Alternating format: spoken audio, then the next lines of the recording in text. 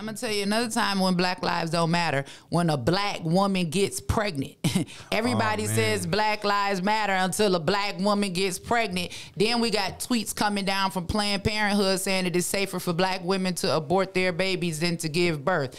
I'm not gonna get too deep into that. Everybody that follows me already know how I mm-hmm. feel in regards to. Because my thing is, if Black Lives Matter, why we keep aborting them? And if we're talking about we are an oppressed minority and we look at these numbers and we know that the majority of their abortion clinics are in our community areas, they just built one right there on Moreland and I 20. I didn't even know that. Then wow.